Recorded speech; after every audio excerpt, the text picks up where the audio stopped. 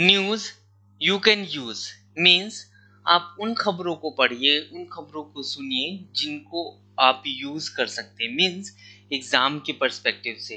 क्योंकि आज के सोशल मीडिया के समय में बहुत सारी न्यूज़ आती रहती है, बहुत सी उनमें से फेक न्यूज़ होती हैं। तो आप उन न्यूज़ को चूज़ कीजिए जो कि आपके एग्ज़ाम में उपयोगी हो सकती है, या उन न्यूज़ चैनल्स या उन न्यूज़पेपर को सिलेक्ट कीजिए जहाँ से आपको ऑथेंटिक न्यूज़ मिलती हो। ओके? अदरवाइज़ केवल टाइम वेस्टेज के अलावा और कुछ नहीं होगा। तो अपने टाइम को सेव कीजिए और आगे बढ़िए। Welcome to my book low channel my name is Vikas Shrivastava आज हम लोग एन क्लास इलेवन की बुक इंडिया फ़िज़िकल इन्वायरमेंट से chapter natural hazard and disaster start करने जा रहे हैं। चैप्टर को स्टार्ट करने से पहले आइए हम देख लेते हैं कि हम किन किन टॉपिक्स पे यहाँ डिस्कशन करेंगे। आई होप मेरी फ़ोटो आपको क्लियर दिख रही होगी। जैसे कि फ़र्स्ट चैप्टर में जो पहला टॉपिक रहेगा, वो तो डिजास्टर है। फिर then classification of natural disaster natural disaster in hazards in India earthquake social environmental consequence of earthquake effect of earthquake earthquake and hazard mitigation tsunami tropical cyclone structure of tropical cyclone consequences of tropical cyclone floods consequences and control of the floods drought types of drought, drought prone, prone areas of India, consequences of droughts, landslide, landslide vulnerability zones, consequences of landslide mitigation and disaster management. तो ये सब topics यहाँ पे रहेंगे तो आपका जो भी उपयोगी टॉपिक हो आप वहाँ से चैप्टर को देखना या समझना स्टार्ट कर सकते हैं वीडियो में ओके, इस वजह से मैंने स्टार्टिंग में ही सारे टॉपिक बताए, जिससे आपको काफ़ी हेल्प मिल जाएगी कि सब सारे टॉपिक सीक्वेंस वाइज हैं तो किसके बाद कौन सा टॉपिक स्टार्ट होगा, आप समझ जाएँगे। तो आप वहाँ से भी वीडियो को स्टार्ट कर सकते हैं।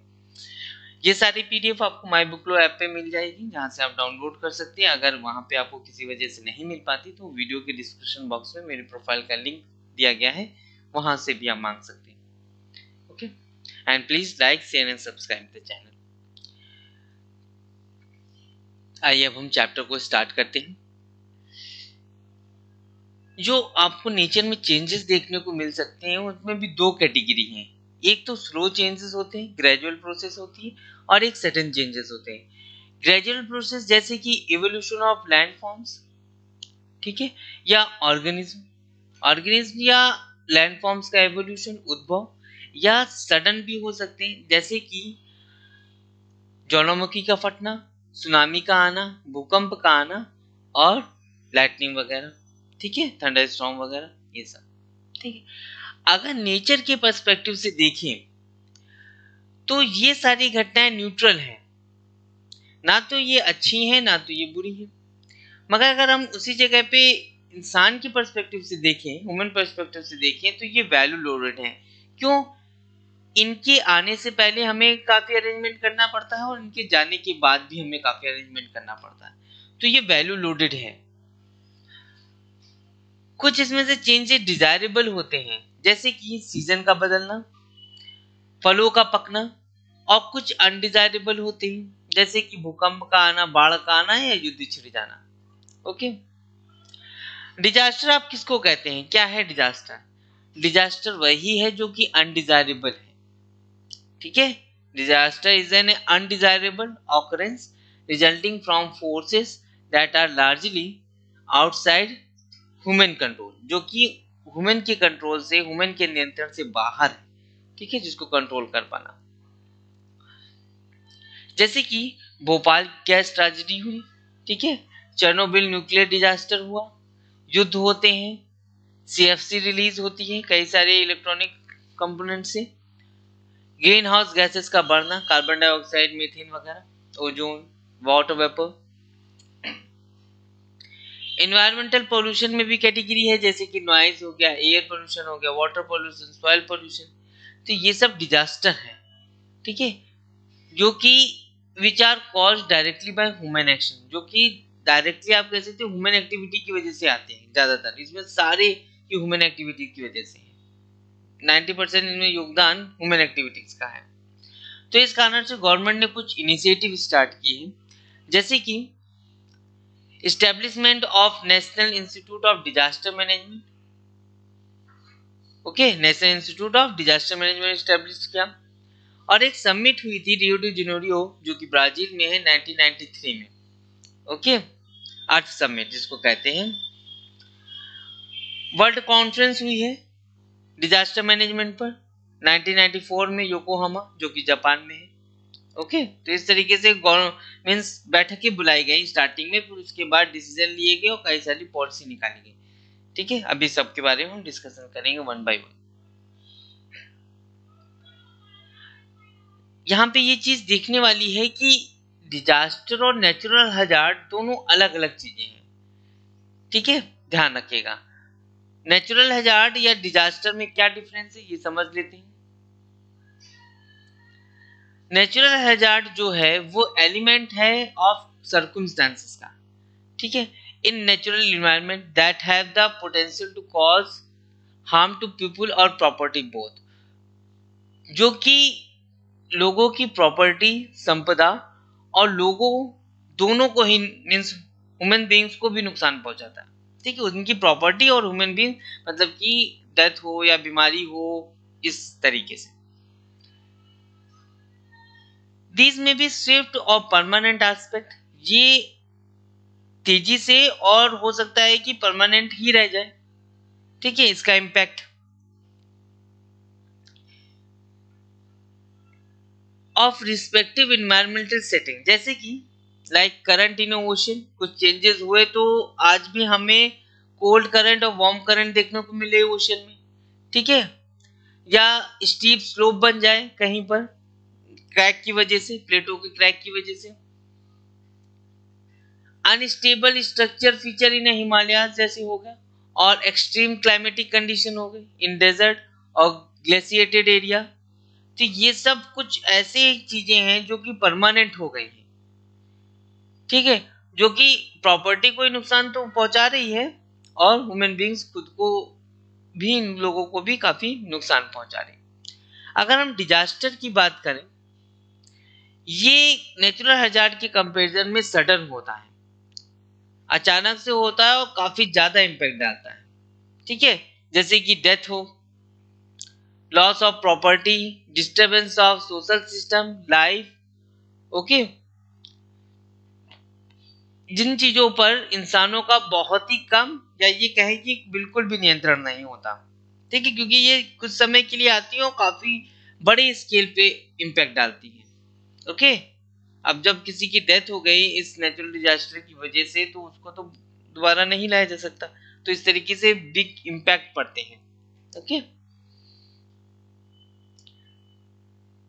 ये देखा गया है कि जो नेचुरल डिजास्टर की वजह से डैमेज होते हैं उनको हमने मीन्स अंतरराष्ट्रीय स्तर पर प्रभाव देखे उन चीज़ों के। ठीक है? जो कि बियॉन्ड है the means of and capabilities of individual किसी भी एक नेशन की कैपेबिलिटी और जो भी उसके पास साधन है, उससे बहुत बड़ी हैं ये डैमेजेस ठीक है? तो सारे नेशनों ने इसी वजह से सोचा कि हम लोग अकेले अकेले नहीं लड़ सकते। अगर हमें इन सब चीज़ों को कर्व करना है तो हमें साथ में आना होगा। ठीक है? This issue was raised as the unite united nation general assembly 1989 इस कारण से ये इशू रेज किया गया। 1989 में यूनाइटेड नेशन की जनरल असेंबली में। और फाइनली इसको फॉर्मलाइज किया गया। World conference on disaster management के रूप में, जो कि 1994 में योकोहामा में हुई थी। ठीक है? World conference on disaster management इस कारण से इसे हम Yokohama strategy and plan of action for safer world भी कहते हैं। ठीक है? Yokohama strategy and plan of action for safer world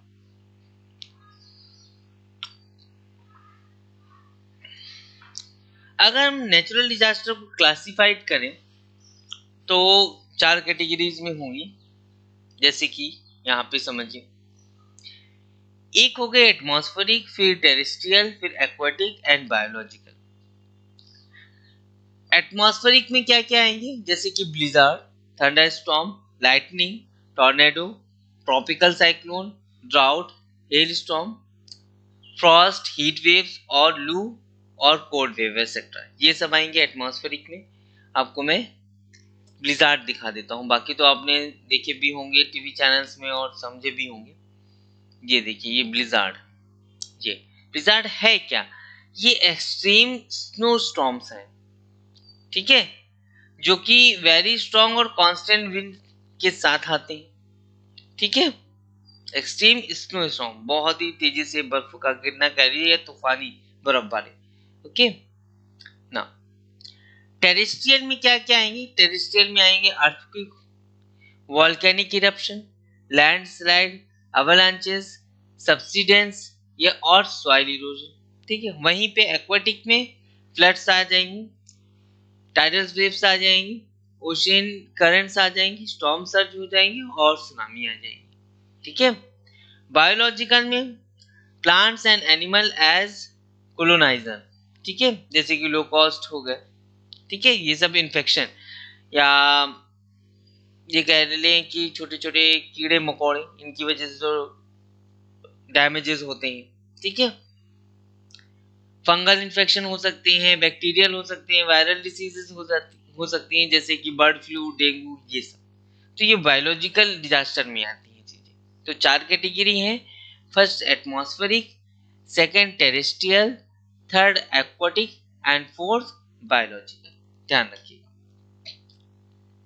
अगर एग्ज़ाम में पूछता है कि नेचुरल डिजास्टर को कैटेगराइज कीजिए तो आप इन चार कैटेगरी में कैटेगराइज कर सकते हैं एटमॉस्फेरिक टेरेस्ट्रियल एक्वेटिक और बायोलॉजिकल आगे देख लेते हैं। Yokohama strategy and international decade for natural disaster reduction IDNDR ये क्या है? क्या हुआ कि जितने भी यूनाइटेड नेशन के मेंबर थे और अदर स्टेट से ये सब वर्ल्ड कॉन्फ्रेंस में मिले आकर, जो कि नेचुरल डिजास्टर को रिड्यूस करने के मकसद से बुलाई गई थी, कहाँ? योकोहामा में। 27 टू टू हाँ 23 टू 27 में 1994 को। इस वर्ल्ड कॉन्फ्रेंस में कुछ रेजोल्यूशन लिए गए। ठीक है? जो कि यहाँ पे मेंशन किए गए हैं। पहला है it will note that each country has a sovereign responsibility to protect its citizen from natural disaster. ठीक है? हर एक देश की अपनी संप्रभु ज़िम्मेदारी होगी, उत्तरदायित्व होगा अपने देश के नागरिकों को नेचुरल डिजास्टर प्राकृतिक आपदा से बचाने का। ओके?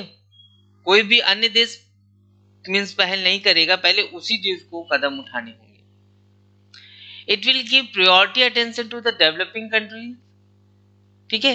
ये डेवलपिंग कंट्रीज़ को प्रायोरिटी देंगे particularly the least developed and land lock country and small island developing state ठीक है? डेवलपिंग कंट्रीज़ किनको प्रायोरिटी देगी?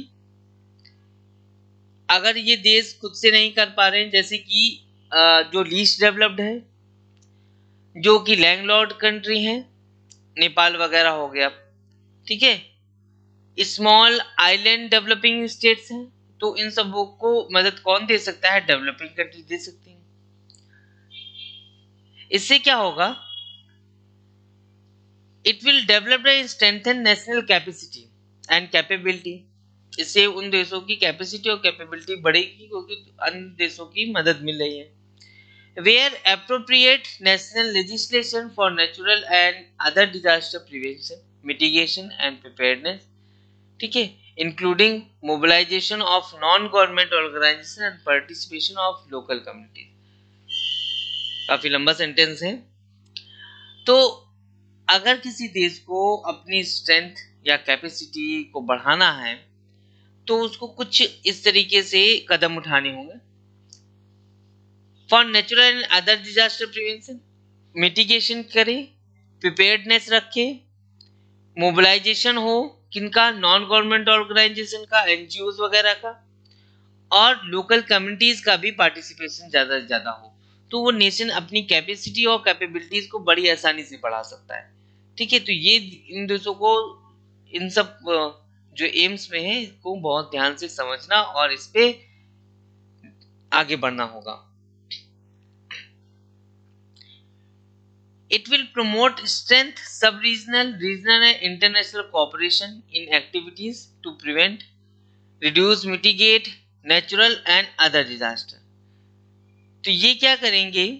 जो रेजोल्यूशन है लिए गए थे it will promote and strength sub regional and regional and international cooperation जो भी इंटरनेशनल कोऑपरेशन है या रीजनल बेसिस पे है या सब रीजनल बेसिस पे है ठीक है? तो उनको प्रमोट करेंगे और उनकी स्ट्रेंथ को बढ़ाएँगे।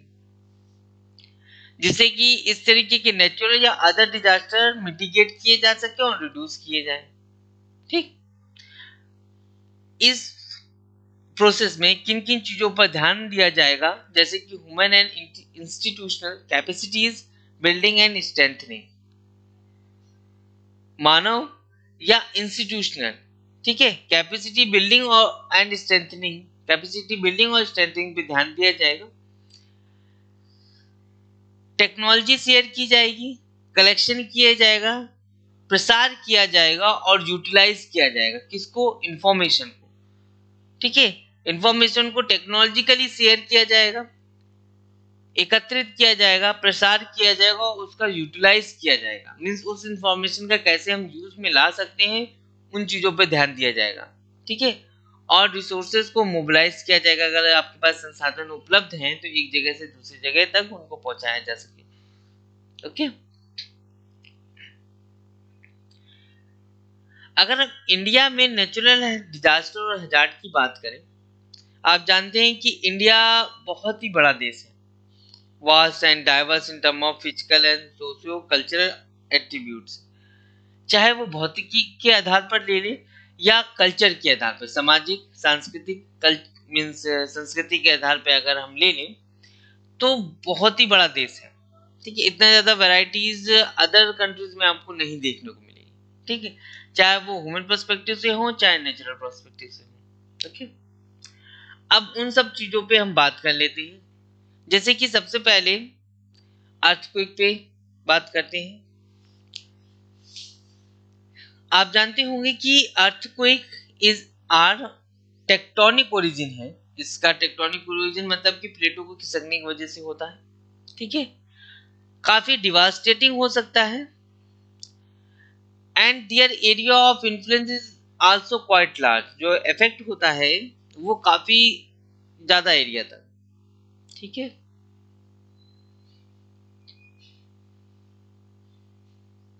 इस तरीके से। कह सकते हैं ओके। इसमें होता क्या है कि अर्थ के अंदर प्लेटो का मूवमेंट होता रहता है ठीक है? जो कि sudden release of the energy during the tectonic activities ठीक है? जहाँ पर एनर्जी सडन अचानक से ही रिलीज़ होती है टेक्टोनिक एक्टिविटीज़ प्लेटो को खिसकने से कहाँ पर? अर्थ की क्रस्ट पर ठीक है? और इससे और भी चीज़ें जुड़ी हुई हैं अर्थक्वेक से। हो सकता है कि प्लेटों को खिसकने की वजह से जो अंदर का लावा है, मैग्मा है, वो इरप्ट हो, बाहर आ जाए, ठीक है, जिसको हम वॉल्केनिक इरप्शन कह देंगे। हो सकता है कि चट्टाने टूट के गिरने लगे लैंडस्लाइड हो जाए सब्सिडेंस हो जाए, धस जाए, ठीक है?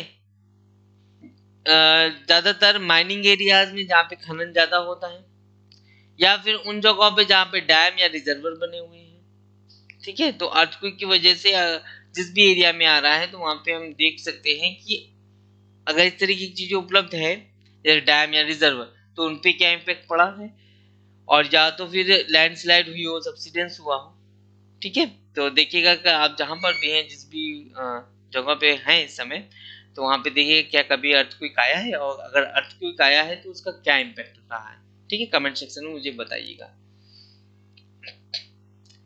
इंडिया की प्लेट जो है इंडियन प्लेट वो लगातार खिसक रही है। अगर हम एवरेज देखें तो वन सेंटीमीटर पर ईयर के हिसाब से। ठीक है? किस डायरेक्शन में?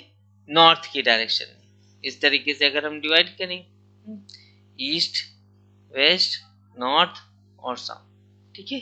कह सकते हैं आप तिब्बत की तरफ़ आगे की ओर बढ़ रही है।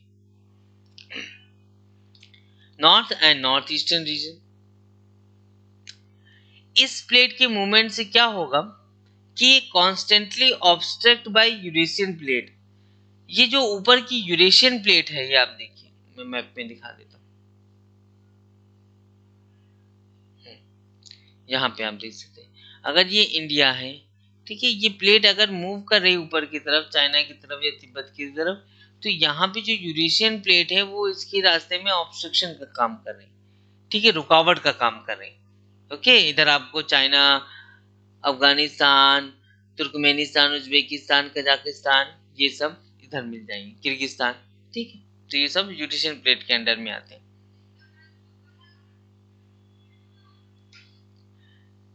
तो ये ऑब्स्ट्रक्शन का काम करती है तो उसके कारण होता है क्या है कि जब इंडियन प्लेट इस तरीके से ये आगे की तरफ़ बढ़ रही है और यहाँ पे यूरेशियन प्लेट है, मौजूद है पहले से ही तो या तो इस तरीके से इससे टकरा के ऊपर उठ जाएगी। ठीक है, जो माउंटेन्स वगैरह या नीचे सब सब साइड से हो जाएगी, धस जाएगी। ठीक है तो दोनों ही कंडीशन हो सकती है। इसी कारण से अगर फोल्डिंग होने लगती है इनमें तो इस तरीके से माउंटेन्स हमें देखने को मिलते हैं। ठीक है? फिर जो कि हिमालय, उसका बेस्ट एग्ज़ाम्पल है। कुछ अर्थ साइंटिस्ट इस डिसीज़न पे आए हैं और एक थ्योरी दी है इमरजेंस ऑफ़ फॉल्ट लाइन ठीक है? फॉल्ट लाइन की इमरजेंस के विषय में इन्होंने एक थ्योरी दी है. And energy build up along the fault line represented by the river Bhima Krishna जो कि कृष्णा की ट्रिब्यूटरी कह लें आप. नियर लातुर एंड उस्मानाबाद शायद उस्मानाबाद है. मे बी अगर यहाँ पे डिमिस्ड है तो. ठीक है? जो कि महाराष्ट्र में है। यहाँ पर आपको फॉल्ट लाइन काफ़ी देखने को मिलेगी। Theory of emergence of fault line और जो कि energy buildup along the fault line represented by आपको इन एरिया में जहाँ भीमा रिवर फ्लो होती है, ठीक है? लातूर के एरिया के पास या उस्मानाबाद महाराष्ट्र के पास, यहाँ पे आपको फॉल्ट लाइन देखने को मिलेगी, ठीक है? तो इस पे भी काफ़ी रिसर्च हुई है। ये क्या है? ये breaking down of Indian plate जो इंडियन प्लेट को तोड़ा है जिसने, ठीक है? फॉर्ट लाइन वहीं से आपको ब्रेक मिलेगी। तो इस पे कई सारे इंस्टीट्यूट ने रिसर्च भी करी है।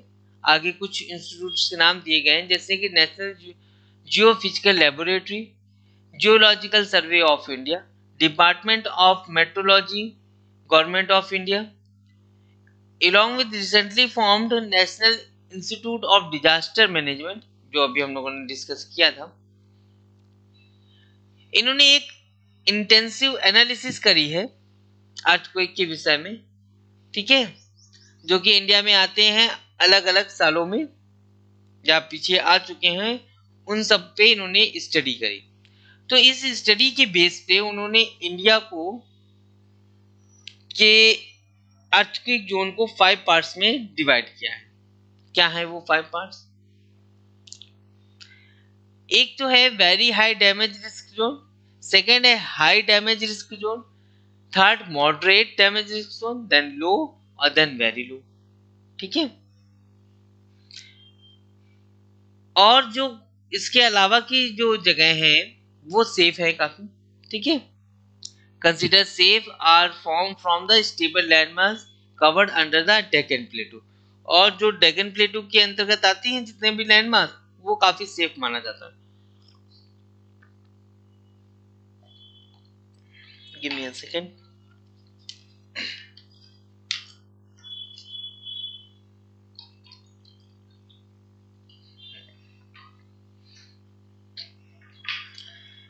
ये तो अर्थक्वेक हमने समझा। इसके सोशियो एनवायरमेंटल कॉन्सिक्वेंसेस क्या होते हैं, ये समझ लेते हैं। ये केवल डैमेज नहीं करते सेटलमेंट्स को, जहाँ ह्यूमन सेटलमेंट्स है। या इंफ्रास्ट्रक्चर है ट्रांसपोर्ट है कम्युनिकेशन नेटवर्क है इंडस्ट्रीज़ है। बल्कि और भी विकास की गतिविधियों पे इम्पैक्ट डालते हैं। जैसे कि ये पॉपुलेशन को लूट लेते हैं कैसे? मटेरियल बर्बाद हो जाते हैं, उनके घर में जो भी चीज़ें मौजूद होती हैं, या जो भी आज तक उन्होंने कमाया है। उसकी वजह से जो भी चीज़ें उन्होंने बनाई हैं, वो सब डैमेज हो जाता है। ठीक है? जो भी उन्होंने आज तक सामाजिक, सांस्कृतिक तरीकों से जो भी चीज़ें पाई हैं या आसपास के एरिया में डेवलप्ड की हैं, क्योंकि जो भी जहाँ पे जिस भी कम्युनिटी के लोग रहते हैं, आसपास के एरिया में वैसी चीज़ें बना देते हैं। मंदिर, मस्जिद चर्च ठीक है? गिरजाघर, ये सब पेड़ पौधे या इस तरीके के कल्चर या वेशभूषा, ये एक एरिया में वो डेवलप कर देते हैं वहाँ का कल्चर ठीक है, आपको किसी भी एरिया में जहाँ जहाँ पर भी रहते हैं, वहाँ आसपास देखिएगा, एक यूनिक चीज़ मिलेगी कि कुछ ना कुछ कॉमन होगा सब में। ठीक है, जो कि ज़्यादा आपको मिलेगा। तो ज़रा समझिएगा कि क्या क्या चीज़ें उस एरिया में आपको खास दिखी। कमेंट बॉक्स में बताइएगा मुझे। They have preserved over generation जो उन्होंने काफ़ी जनरेशनों से, ठीक है पूर्वजों से बचाते चले आए हैं, इस तरीके की नेचुरल डिजास्टर जो सडन आती है, वो सब बर्बाद करके चली जाती है। ठीक है? तो ध्यान रखिएगा, केवल आज की बनाई हुई चीज़ों पे नहीं, उन चीज़ों पे इम्पेक्ट डालती हैं ये सब नेचुरल हज़ार जो कि बहुत काफ़ी पुरानी जनरेशनों से संजोते आए हैं हम। सपोज़ दैट कोई बहुत पुराना मंदिर है, ठीक है? खजुराहो वगैरह चले जाएँ या अदर जगहों पे चले जाएँ ठीक है, और वहाँ पे उस एरिया में सपोज़ दैट अर्थक्वेक आ गया तो वो सब डैमेज हो जाएगा। ओके तो जनरेशन से जो हम सजो के चले आ रहे हैं, वो सारी चीज़ें एक झटके में सब बर्बाद। ओके आगे देखते हैं। ग्राउंड लेवल पे इसका इफ़ेक्ट क्या होता है? जैसे कि फिशर्स बन जाते हैं। ठीक है? फिशर सेटलमेंट जैसे कि मैं दिखा देता हूँ फिशर्स क्या होता है, ये हैं फिशर्स ठीक है? इतने गहरे गहरे मीन्स दरारे आप कह सकते हैं। ठीक? जिनके, जिनमें अंदर जाना इंसान भी सोचता है कई बार कि अंदर जाए कि ना जाए, इतने गहरे हो सकते हैं और ठीक, कभी भी ये ब्रेक हो सकते हैं फ्रेजाइल हो सकते होते हैं काफ़ी। लैंडस्लाइड पे इफ़ेक्ट डालती है लैंडस्लाइड होती है। लिक्विफिकेशन हो सकता है अर्थ प्रेशर हो सकता है। पॉसिबल चेन इफ़ेक्ट हो सकते हैं, ठीक है? मैन मेड स्ट्रक्चर पे क्या इम्पैक्ट डालेगी जैसे कि cracking sliding overturning buckling and collapse buckling क्या चीज़ है? बकलिंग ये देखिए। ये है बकलिंग मीन्स इस तरीके से हमें दबाव देखने को मिलता है कि ऊपर से किसी चीज़ का ऐसा लग है कि दबाव डाला गया तो ये टेढ़ा हो गया, ठीक है? ये बकलिंग है। तो ये किसी भी बॉडी के मीन्स बिल्डिंग की बॉडी को डैमेज कर देती है इस तरह की बकलिंग पूरी तरीके से तो नहीं, टूटती मगर टेढ़ी हो जाती, जो कि रियलिटी में अगर हम समझे तो वो बेकार ही हो गई। वहाँ पे फिर से हमें कंस्ट्रक्शन स्टार्ट करना पड़ेगा। ओके क्योंकि ये काफ़ी समय तक टिकेगी नहीं। पॉसिबल चेन इफ़ेक्ट भी हो सकते हैं।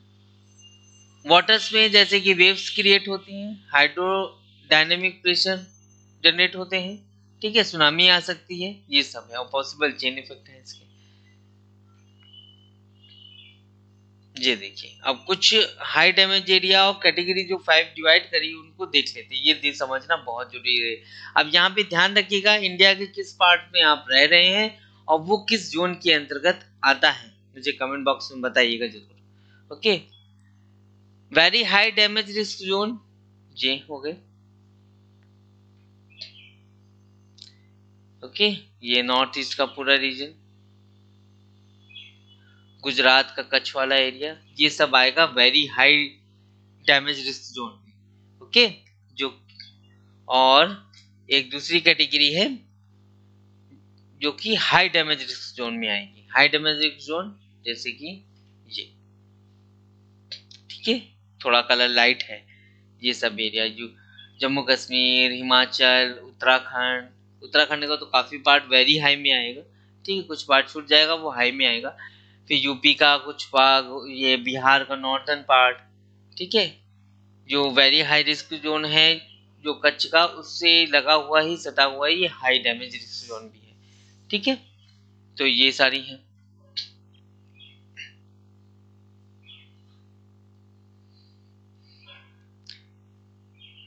मॉडरेट में क्या आएगा? ऑल लाइट कलर हो जाएगा। ठीक है? यूपी का बिहार का एरिया एमपी का एरिया हो गया महाराष्ट्र का कुछ एरिया होगा राजस्थान का एरिया होगा गुजरात का एरिया होगा ये कोस्टल एरिया हो गया इधर का कर्नाटक का केरल का ये सब। आंध्रा का कुछ पार्ट हो गया कोस्टल का। ठीक। ये वेस्ट बंगाल का पार्ट हो गया। लो डैमेज एरिया में क्या क्या आएँगे? लो डैमेज एरिया में ये इस तरीके से राजस्थान और ये आपको यहाँ पे यूपी का पार्ट एमपी का कुछ पार्ट राजस्थान का कुछ पार्ट यहाँ पे उड़ीसा का कुछ ओके झारखंड का कुछ पार्ट और ये सब यहाँ पे महाराष्ट्र, कर्नाटक, केरल, तमिलनाडु, आंध्रा, तेलंगाना, ये सब कुछ पार्ट आ जाएगा। लो डैमेज रिस्क जोन में। वेरी लो में मैंने बताया था कि डेकिन का प्लेटू ठीक है? ये सेंट्रल हाईलैंड वगैरह और ये उड़ीसा का कुछ भाग, ये सब। जो प्लेन एंड लैंड एरिया है, वहाँ पे और बीचों बीच में, ठीक है?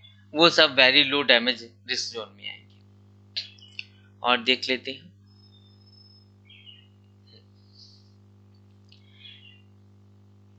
जो मैंने अभी आपको दिखाया था फिशर वो कैसे डेवलप्ड होता है? सरफेस सिस्मिक वेव्स की वजह से। ठीक है? कहाँ पर? अर्थ की क्रस्ट पर upper layer of the earth crust जहाँ से क्या होता है इन फिशर से वाटर और अदर वोलेटाइल मटेरियल बाहर आते हैं। कभी कभी ऐसा होता है। ठीक है? यहाँ से। एक second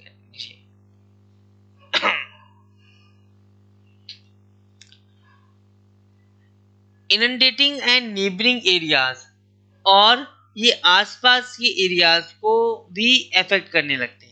भाई, जो भी इनके सराउंडिंग में आएगा एरिया वो सब अफेक्टेड हो जाएगा। ओके ये सारा एरिया अर्थक्विक की हमने बात करी, मगर अब हमें सोल्यूशन भी चाहिए। अर्थक्विक तो आता है सभी जानते हैं, मगर सिर्फ़ जानना ही काफ़ी नहीं होगा। हमें इसको के सोल्यूशन के लिए भी कदम उठाने होंगे। ठीक है? अर्थक्विक हज़ार मिटिगेशन कैसे होगा? अगर हमें इन सब चीज़ों पे को कम करना है, रोक तो सकते नहीं, क्योंकि नेचुरल चीज़ें हैं, किसी भी हालत में आप नहीं रोक सकते, मगर इनको कम ज़रूर किया जा सकता है, ठीक है? जैसे कि अगर हम प्रिपेयर्डनेस पे अगर इनकी ध्यान दें मीन्स पहले से ही तैयार रहें, ठीक है? क्योंकि ये ज़्यादा बेहतर होंगे मेजर्स से, ठीक है? मेजर्स तो बाद में लिए जाएँगे, कदम बाद में उठाए जाएँगे, जो भी सुधार किए जाने हैं मगर उससे पहले ही हम तैयार रहें तो इनके इम्पैक्ट को काफ़ी कम किया जा सकता है ओके तो इसके लिए क्या कर सकते हैं हम? अर्थक्विक मॉनिटरिंग सेंटर स्टेब्लिश कर सकते हैं या इनको हम सिस्मोलॉजिकल सेंटर भी कहते हैं। जीपीएस का यूज़ कर सकते हैं जिसका full form geographical positioning system है, जो कि काफ़ी मदद करेगा इस बात की मॉनिटरिंग करने में कि टेक्टोनिक प्लेट का मूवमेंट कैसा चल रहा है? ठीक है? अगर मूवमेंट हमें जीपीएस के थ्रू पता चल जाए तो ये बहुत ही आसान होगा कि हम उस एरिया से उन लोगों को हटा दें ह्यूमन सेटलमेंट को हटा दें अर्थक्विक जैसी सिचुएशन आने से भी पहले ही। तो हम ये डैमेज को काफ़ी कम कर सकते हैं, क्योंकि केवल प्रॉपर्टी का डैमेज होगा ह्यूमन बींग्स को हम बता सकते हैं और ह्यूमन बींग अपने साथ काफ़ी जो इंपॉर्टेंट थिंग्स उनको भी ले जा सकते हैं। ठीक है? और एक काम किया जा सकता है एक वनरेबिलिटी मैप तैयार किया जाए कंट्री का। ठीक है जहाँ पे इस तरीके के नेचुरल डिजास्टर अक्सर आते रहते हैं। तो एक कॉमन फिनोमिना बन जाता है कि का, काफ़ी कम चांसेस हैं कि वहाँ पे सेटलमेंट किया भी जाए या कोई इंडस्ट्री इस्टेब्लिश की भी जाए। ठीक है? और रिस्क इंफॉर्मेशन को ज़्यादा से ज़्यादा लोगों तक पहुँचाया जाए चाहे वो चाइल्डहुड में बच्चों को समझाया जाए। एजुकेशन के माध्यम से, या नुक्कड़ नाटक करके, या अदर टेलीविज़न टेलीकास्ट से, या रेडियो टेली मीन्स रेडियो में प्रसारित करके लोगों तक चीज़ें ज़्यादा से ज़्यादा पहुंचाई जा सकती है। क्योंकि जितनी ज़्यादा इन्फॉर्मेशन होगी, उतना ज़्यादा वो कदम उठा पाएँगे सही डायरेक्शन में। ओके और भी बहुत सारे सोल्यूशन है। जैसे कि हम अपने घर को मॉडिफाई कर सकते हैं। ठीक है? बिल्डिंग को, की डिज़ाइन को मॉडिफाई कर सकते हैं। जो कि ऐसे एरिया में बनाए जा रहे हैं जो कि वनरेबल हैं। ओके जैसे कि हमने अब सुनते हैं कि बहुत सारी ऐसी बिल्डिंगें बनी हैं जो कि अर्थ के मीन्स मिनिमम इम्पैक्ट को झेल सकती है। ठीक है? और लास्ट में हम ये कहें कि चीज़ों को मैंडेटरी कर दिया जाए। To adopt earthquake resistant design earthquake resistant design अगर आप बिल्डिंग बना रहे हो तो वो अर्थक्विक रेजिस्टेंट होनी चाहिए। ऐसी डिज़ाइन की बिल्डिंग तैयार कीजिए, ठीक है? और बहुत ही हल्के मटेरियल का यूज़ करें कंस्ट्रक्शन के समय, जिसमें कि अगर डैमेज भी हो या बिल्डिंग इधर या उधर किसी भी डायरेक्शन में गिरे, ठीक है? तो आसपास के एरिया में इतना ज़्यादा डैमेज ना क्रिएट हो, ठीक है?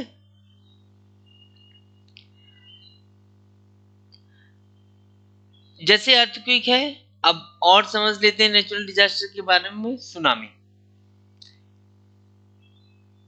अगर सी फ्लोर में अर्थक्विक आता है या वॉल्केनिक इरप्शन होता है, ठीक है?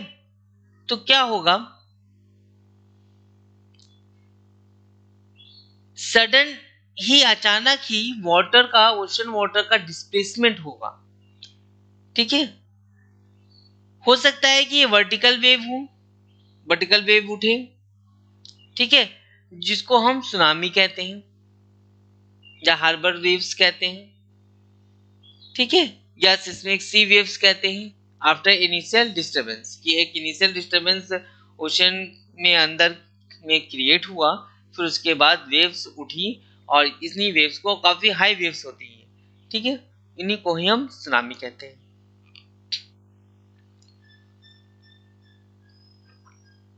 सुनामी के और भी नाम है, जैसे कि हार्बर वेव्स हो गया, हो सकता है कि आपसे एग्ज़ाम में पूछे। और सिस्मिक सी वेव्स हो गया, कुछ अंतर नहीं है, सब एक ही चीज़ है। इस तरीके से वेव्स आने के बाद, ये ऑक्सीलेट होने लगती हैं इस तरीके से हाई क्रस्ट और लो ट्रो इस फॉर्म में। High crest low trough high crest low trough इस तरीके से वेव आप जानते हैं कि ऐसे ही मूव करती है आगे। ठीक है? In order to restore the water level water level को रिस्टोर करने के लिए इस तरीके से हाई क्रेस्ट और लो ट्रो में चलने लगती है। ठीक है? ये हमने प्रीवियस क्लास में डिस्कशन किया था। अगर आप नहीं थे तो वहाँ जाके आप देख सकते हैं video okay by with figure मैंने समझाई है चीज़ें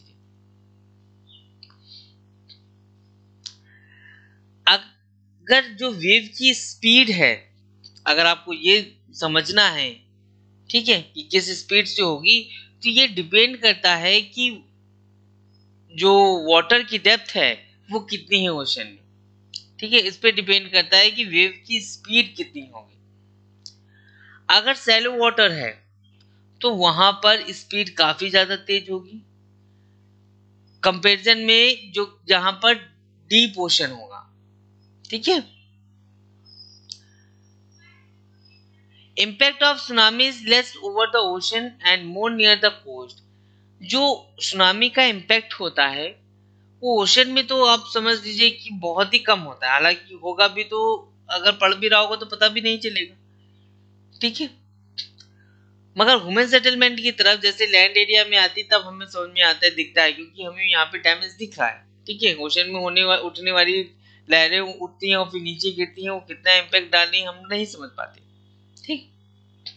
और कोस्टल एरिया में जैसे वो पहुँचती हैं डिवास्टेशन बनती हैं, वैसे हमें इम्पैक्ट देखने को मिलता है। लार्ज स्केल डिवास्टेशन ठीक है? जैसे कि सिप है, कोई पानी का जहाज़। वो ज़्यादा इफेक्टेड नहीं होगा सुनामी की वजह से। क्यों? It is difficult to detect a tsunami in a deeper part of the ocean क्योंकि जो, अगर यहाँ पे इस तरीके से सिप जा रहा है, ठीक है? आप जान रहे हैं कि वेव्स उठी हैं, ठीक? मगर जो नीचे वाली वेव्स हैं, इस, ये आप जानते हैं कि हाई क्रेस्ट और लो ट्रो इस तरीके से चलेगी, ठीक है?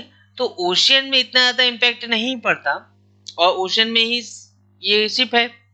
जब ये लैंड एरिया की तरफ़ आती हैं, ठीक है? तब ये और ज़्यादा इम्पैक्ट क्रिएट करने लगती है। ठीक है? तो ये कुछ ऊंचाई तक ही उठेगा सिर्फ़, और फिर नीचे आ जाएगा, फिर उठेगा, फिर नीचे आ जाएगा, ऐसे चलता रहेगा। ठीक? ना। ये होता क्यों है?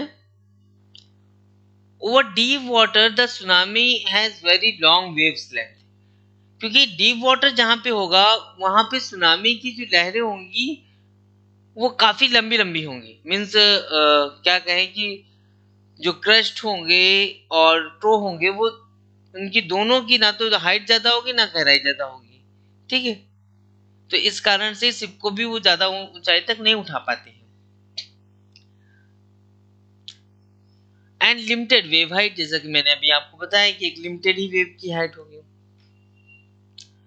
ज़्यादातर शिप को ये एक या दो मीटर के आसपास ही उठा पाएगी। ठीक है? और ये अगर एक दो मीटर तक उठाती भी है तो इसको उठाने में भी काफ़ी टाइम में लगता है, क्योंकि अब जो क्रस्ट और टोब बन रहे हैं, वो इस तरीके से है। ठीक है? तो ये काफ़ी लंबे लंबे पड़ रहे हैं तो इस वजह से टाइम लगता है दूसरी क्रस्ट को आने में। तो ज़्यादा इम्पैक्ट देखने को नहीं मिलेगा आपको। ये मीन्स डीप अंडरस्टैंडिंग है। ये कभी कदार आपसे एक मीन्स में पूछ सकते हैं कि उस सी में अगर शिप है या सी में ये ज़्यादा इम्पेक्ट क्यों नहीं डालती सुनामी ठीक है? क्योंकि वेवलेंथ जो होगी tsunami has a very long wavelength over a deep water okay आपको सुनामी ज़्यादा उन एरियाज़ में मिलेगी जो कि पैसिफिक रिंग के अंडर में आते हैं पैसिफिक रिंग ऑफ़ फायर के ठीक है? आपने हो सकता है कि शायद मूवी देखी हो रिंग ऑफ़ फायर तो उसी से समझ लीजिए पैसिफिक रिंग ऑफ़ फायर है जिनके कोस्ट काफ़ी लंबे हों, जैसे कि Alaska Japan Philippines and other island of south east Asia तो अलास्का जापान और फिलीपींस आइए हम देख लेते हैं कहाँ पे ये है Pacific ring of fire okay? हालाँकि ये है अलास्का, जापान इधर है। ठीक है? मगर हम आपको पॉलिटिकल मैप समझा देते हैं। ठीक है? ये है अलास्का, ओके? ये है जापान और ये है फिलीपींस। ठीक है? तो यहाँ पे ज़्यादा आपको देखने को मिलेगा। और कुछ साउथ ईस्ट एशिया के नेशन हैं, जैसे कि Indonesia, Malaysia, Myanmar, Sri Lanka and India. तो यहाँ पे देख लेते हैं। ये इंडोनेशिया का एरिया है, ठीक है? ये मलेशिया है। यहाँ पे बर्मा कह लीजिए या म्यांमार कह लीजिए, ठीक है? ये इंडिया है, आप जानते हैं, और ये श्रीलंका है, ठीक है? तो इन जगहों पे आपको देखने को मिलेगा। India has volunteered to join the international tsunami warning system India ने अपनी इच्छा से ही इंटरनेशनल सुनामी वार्निंग सिस्टम को ज्वाइन किया था। दिसंबर 2004 में। ठीक है? ध्यान रखिएगा। ये पूछा जा सकता है कि इंडिया मेंबर है कि नहीं है इंटरनेशनल सुनामी वार्निंग सिस्टम का। Okay earthquake tsunami now tropical cyclone क्योंकि ये सारी चीज़ें जुड़ी हुई हैं आपस में। तो वन बाय वन एक एक चीज़ों को हम समझ रहे हैं। ट्रॉपिकल साइक्लोन की अगर हम बात करें, इस तरीके से आप समझ सकते हैं ठीक है? ये ज़्यादा इंटेंस होंगे, या इनमें ज़्यादा पावर होगा, जहाँ पे लो प्रेशर एरिया होगा। ठीक है? और वो low pressure area 30 degree north and 30 degree south latitude के बीच में आना चाहिए।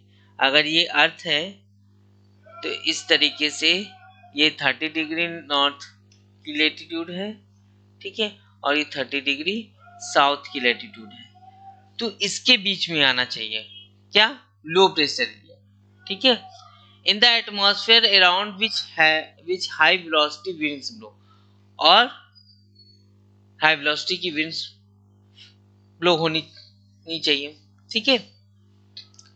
अगर हम हॉरिजेंटली देखें तो ये 500 टू 1000 किलोमीटर तक होगा। ठीक है? अगर हम वर्टिकली देखें तो 12 टू 14 किलोमीटर तक होगा। ठीक है ध्यान रखिएगा ट्रॉपिकल साइक्लोन या जिसको हम हरिकेन भी कहते हैं, वो हीट इंजन की तरीके हैं। और जिनको एनर्जी कहाँ से मिलती है? लेटेंट हीट की वजह से। ठीक है? Release of latent heat on account of condensation of moisture जो मॉइस्चर का कंडेंसेशन होता है तो लेटेंट जो हीट रिलीज़ होती है लेटेंट हीट के माध्यम से, ये साइक्लोन ऑब्ज़र्व करते रहते हैं। ठीक है? और ये विंड गैदर हो जाती है after moving over the ocean and seas ठीक है गैदर होती है और इस तरीके से फ्लो होने लगती है।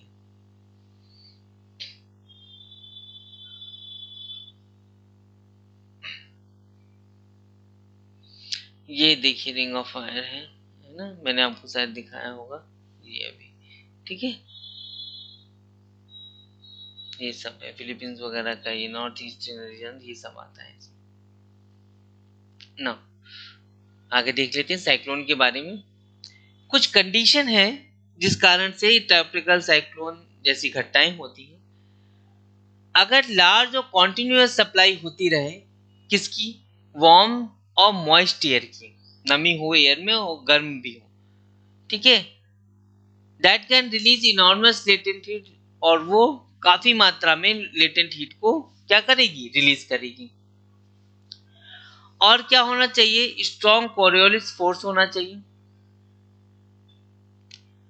जो बचाएगा can prevent filling of low pressure at the centre ठीक है? Absence of Coriolis force near the equator prohibit the formation of tropical cyclone between zero degree to five degree latitude आप जानते हैं कि इस लैटिट्यूड में ये तो इक्वेटर है। ठीक ज़ीरो डिग्री और इससे ऊपर फाइव डिग्री या इससे नीचे फाइव डिग्री ठीक। इस एरिया में आपको ट्रॉपिकल साइक्लोन नहीं मिलेंगी।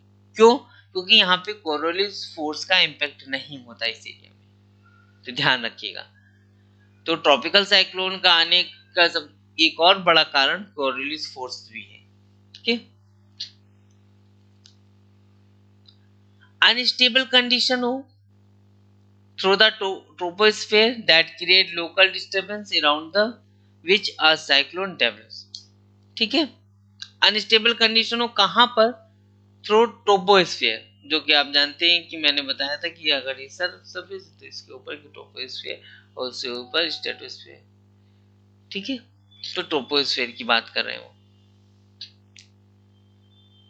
जिसके कारण से लोकली स्तर पर या स्थानीय स्तर पर डिस्टरबेंस क्रिएट होता है और साइक्लोन डेवलप होते हैं। अंततः absence of strong vertical winds wage disturb the vertical transport of the latent heat ठीक है, अगर ये वर्टिकल वेज डिस्टर्ब हो जाती है, ठीक है, वो इस कारण से लेटेंट हीट की वजह से साइक्लोन और मज़बूत होता जा रहा था। अगर ये साइकिल ब्रेक हो जाती या कहीं से मीडियम ब्रेक हो जाता है तो वहीं से ही साइक्लोन शांत होना चालू हो जाता है। ठीक है? तो ध्यान रखिएगा, इसी कारण जैसे ही लैंड एरिया पे पहुँचता है तो ट्रॉपिकल साइक्लोन खत्म होने लगता है। क्योंकि जो उसकी ब्रांच थी या कनेक्शन था लेटेंट हीट मिलने का मॉइस्चर ईयर से, वो खत्म होने लगता है, कनेक्शन ब्रेक हो गया। ठीक है? तो अब वो धीरे धीरे शांत होने लगेगा। ओके, तभी ये कहा जाता है कि लैंड एरिया पे पहुँचते ट्रॉपिकल साइक्लोन शांत क्यों हो जाते हैं? खत्म क्यों होने लगते ठीक है तो उसका ये रीजन है कि वो जहाँ से उनको एनर्जी मिल रही होती थी, वो ब्रेक हो जाती है, क्योंकि सी के ऊपर है मॉइस्ट एयर भी होगी वार्म वार्म भी होगी, ठीक है? वहीं से लेटेंट कंडेंसेशन और लेटेंट हीट हीट जनरेट होगी, वो साइक्लोन को और मज़बूत, ताकतवर बनाने में मददगार होती है। जैसे ही लैंड सरफेस एरिया में पहुँचता है तो वो चीज़ ब्रेक हो जाती है और साइक्लोन शांत होने लगता है। ओके? ये चीज़ ध्यान रखिएगा स्ट्रक्चर ऑफ़ ट्राइपिकल साइक्लोन की अगर हम बात करें, जो साइक्लोन का सेंटर होगा, अगर हम इस तरीके से बात बना दें साइक्लोन ठीक है? जो सेंटर होगा, ये सेंटर की अगर हम बात करें, ये वार्म और लो प्रेशर होगा यहाँ पे, ठीक है? और यहाँ पे आपको क्लाउड वगैरह नहीं मिलेंगे। इसकी सराउंडिंग में ज़रूर मिलेंगे, इस तरीके से क्लाउड यहाँ पे क्लाउड मिल जाएँगे आपको, मगर सेंटर पे नहीं मिलेंगे। और किस टाइप के क्लाउड मिलते हैं इसकी सराउंडिंग में, ये जरा मुझे बताइए कमेंट बॉक्स में। ठीक है, ध्यान कीजिए और मुझे बताइए कि जो सेंटर के अलावा साइड में जो एरिया होता है, वहाँ पे किस टाइप्स के कुमुलोनिम्बस मिलते हैं साइरस मिलते हैं, किस टाइप के क्लाउड्स मिलते हैं। ओके सोचिए और बताइए कमेंट बॉक्स में। तो जो कोर है सेंटर है, वो क्लाउडलेस होगा, वहाँ कोई बादल नहीं होंगे और उसी को हम आई ऑफ़ द स्टॉम कहते हैं। ध्यान रखिएगा, यही है eye of the storm okay जहाँ पे ये ट्रॉपिकल साइक्लोन होंगे तो आइसोबार वहाँ पे आप देखेंगे क्लोजली प्लेस्ड होंगे। आइसोबार क्या होते जानते हैं हम? आइसोबार वो होते हैं, वो लाइनें होती हैं जो कि उन जगहों को आपस में मिलाती हुई चलती हैं जहाँ पर प्रेशर एक समान होता है। ठीक है? उन जगहों को मिलाने वाली लाइनों को हम आइसोबार कहते हैं। आज में बहुत सी ऐसी जगह है जहाँ पे एक समान प्रेशर बना रहता है तो वहाँ पर लाइनें जो जोड़ती हुई चली जा रही है, उसको हम आइसोबार्स कहते हैं। तो इस जगह पे ट्रॉपिकल साइक्लोन के पास आइसोबार्स आपको क्लोजली प्लेस्ड मिलेंगे to each other showing high pressure gradient ठीक है? नॉर्मली आपको इनमें क्या मिलेगा? 14 टू 70 एम के, के आसपास प्रेशर मिलेगा और पर 100 किलोमीटर पर। ठीक है? लेकिन कुछ जगह पर ऐसा भी हो सकता है कि 60 एम के आसपास हो पर 100 किलोमीटर तो ध्यान रखिएगा। कोई ज़रूरी नहीं कि फिक्स्ड हो 40 टू 70 भी हो सकता है और 60 के आसपास भी हो सकता है। प्रेशर यहाँ पे। और जो विंड का एक्सपेंशन होता है, वो कितना होगा करीब 10 से 150 किलोमीटर के आसपास फ्रॉम द सेंटर ठीक है? जी। जी। ठीक? 10 से 115 किलोमीटर के आसपास। चल। ठीक है? तो हम लोग इस चैप्टर में आज यहीं तक रखते हैं। और जो भी रेस्ट ऑफ़ द टॉपिक्स बचे हैं, वो हम लोग नेक्स्ट वीडियो में कवर करेंगे। And please like share and subscribe the channel thank you for watching this video thank you so much